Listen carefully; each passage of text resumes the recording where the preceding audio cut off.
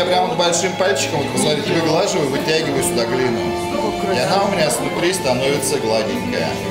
Эта техника называется лепка из комка. Самый простой и самый древний способ изготовления глиняной посуды. Мастер-класс ведет скульптор-керамист Александр Панкратов. По его словам, магия глины в том, что всего один кусок содержит большое количество решений. Своим слушательницам он предложил вылепить чашку. Форма может быть закрытая, когда у нас краешки как бы внутрь смотрят. Может быть открытая, когда у нас они наружу, да? В качестве материала используется шамотная глина. Темно-серый цвет кажется неприглядным, но после обжига изделие станет белым, как лист бумаги. Она хороша тем, что хорошо держит форму, стенку хорошо держит, потом сохнет, не требовательно к сушке, э, как правило, не трещит. Вот, и на высоких температурах обжигается, что для нас большой плюс, потому что мы работаем с материалами, ну, с глазурями высокотемпературными в основном. Керамика – это не только красиво. Мастер убежден, лепка – это активная медитация. Мощный антистресс, который снимает нервное напряжение не хуже психотерапевта.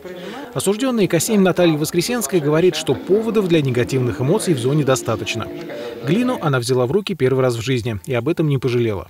Знаете, так затянуло, вообще мирское все забылось, что тут вокруг, что я нахожусь в колонии исправительной, вообще ничего этого нету, только есть я и диалог с глиной. На самом деле очень переживала, что что-то не получится. Хотелось чего-то большего, но немножко не развита моторика рук. Творческим ремеслом Александр Панкратов занялся всего несколько лет назад. До этого работал юристом. В какой-то момент душа потребовала самовыражения, и мужчина совершил крутой жизненный поворот. Сменил скучную профессию на любимое дело. Для осужденных это не только урок по керамике. Это пример того, что жизнь можно изменить к лучшему, стоит только захотеть.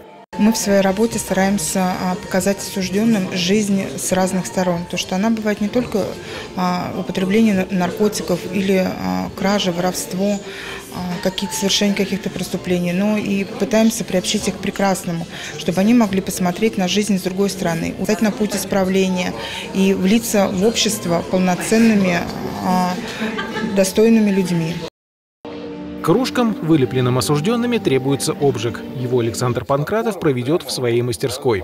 Следующая встреча будет посвящена расписыванию посуды красками. После этого чашки девушки смогут забрать себе на память. Вот только пользоваться ими в колонии осужденные не смогут.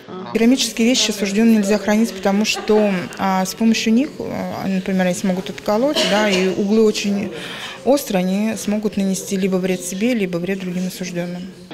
Свое творчество женщины смогут отправить родным в качестве подарка, либо сдать на хранение в администрацию ИК. Керамические чашки вернут после освобождения. Сергей Веселов, Денис Железов, телекомпания «Барс».